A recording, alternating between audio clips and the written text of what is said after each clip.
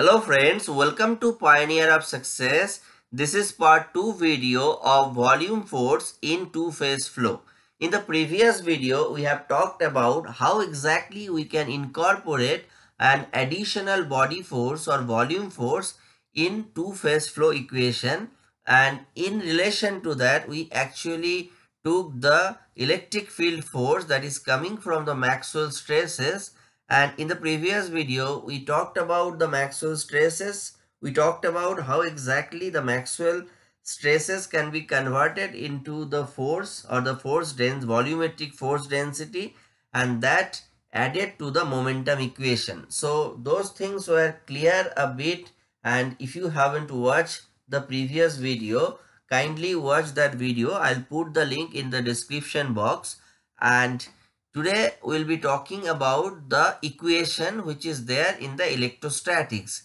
Because whenever we are dealing with COMSOL we have to understand the equation. Otherwise we will miss the information or we will miss the physics of the problem. And without understanding the physics the problem will not be complete.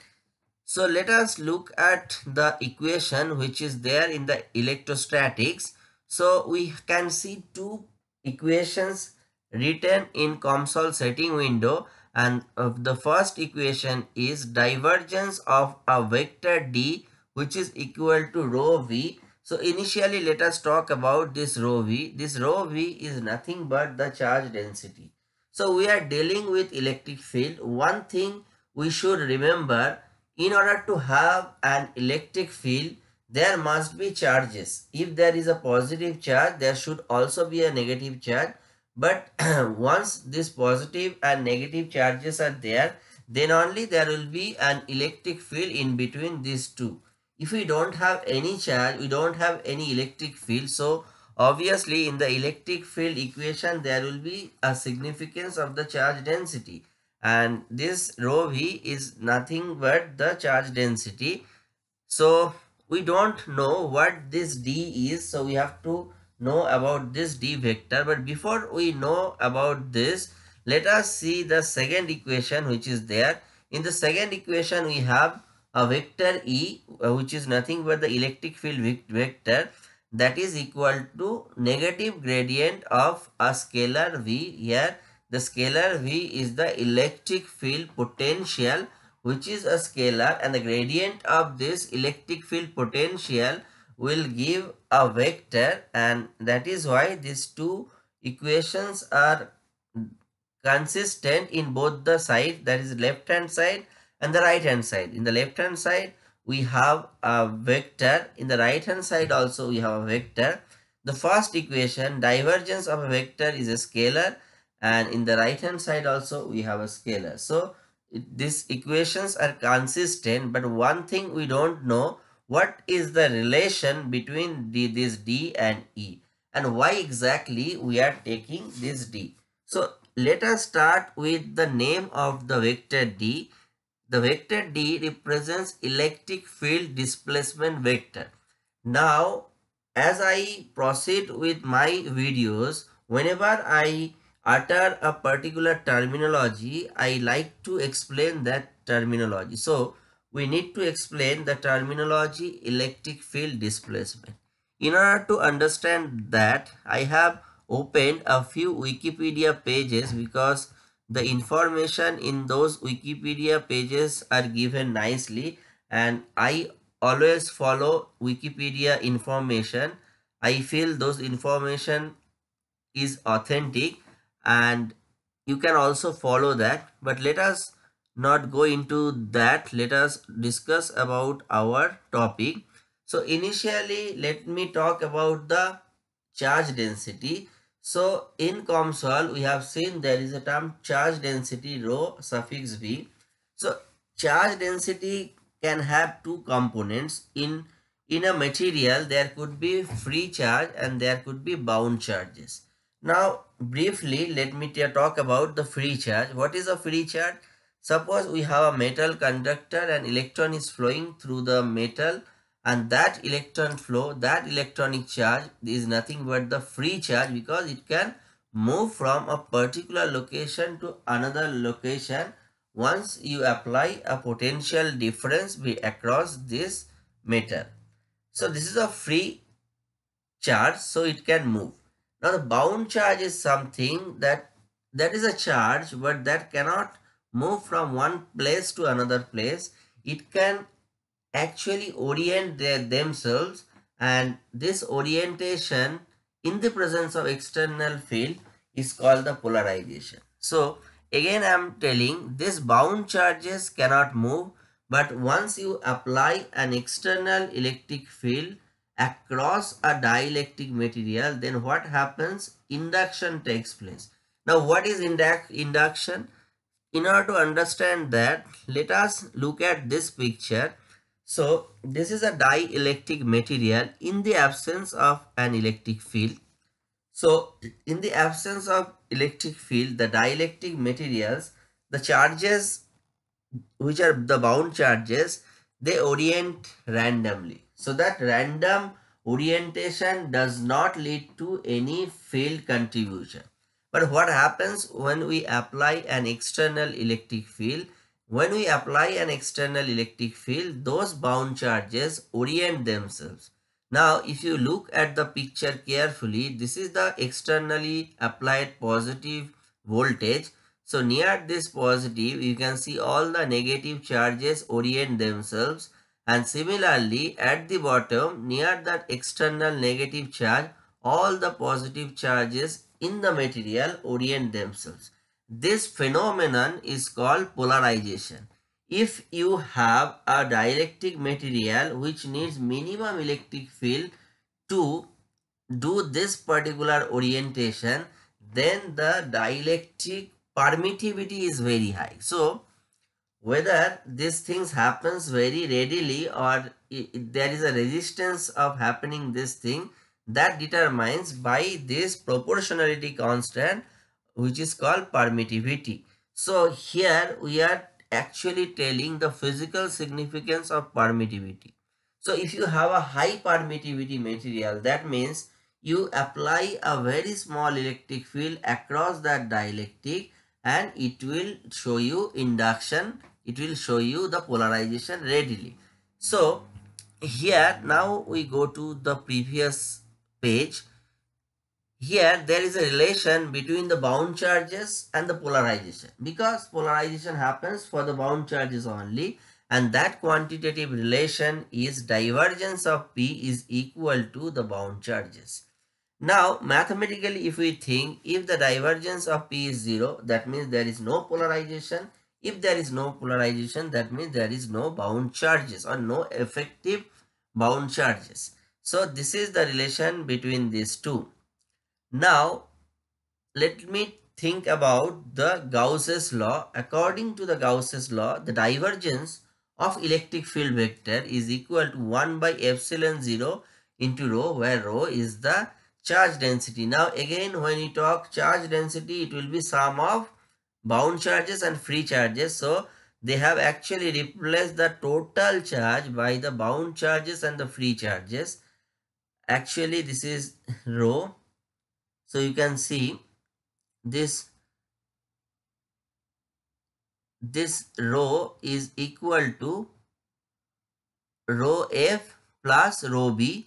So this rho f is rho f and the rho b is actually given by the divergence of P because both are same because rho B is nothing but equal to divergence of P. So basically what they have done, they have replaced rho by rho F plus rho B and then again in, in place of rho B they have placed minus divergence of P. So now what we can do is we can take this divergence of P in the left hand side and then it gives divergence of epsilon 0 E plus P is equal to rho F. So the free charge density is equal to this and this particular thing is called electric field displacement vector. So electric field displacement vector is epsilon 0 E plus polarization P and they have actually mentioned this in the front line but I have explained in terms of the charge density, the free charge density, the bound charge density and from there I have explained this. Now for our cases, for simplistic cases, we will assume that there is no polarization. So this will be 0. So the electric field vector or the electric field displacement will be equal to epsilon 0 into E. Now if you look at COMSOL and if I go to the charge conservation equation, you can see these things are given. So initially in the equation we have seen like divergence of D is equal to rho V but here if in the charge conservation we see instead of divergence of D it is written epsilon 0 epsilon r into E so you can you can equate it from with this equation. So you know, I mean the P is 0 so D is epsilon 0 E. And for a material which has a dielectric relative dielectric permittivity epsilon R for that there will be a multiplication with epsilon R. So we, we don't have any polarization here for this particular electrostatic module but we are dealing with this epsilon 0 epsilon r e which is nothing but the d vector. So basically we are solving this equation. So once we solve this equation if you just try to visualize it what we can do is we have electric field e.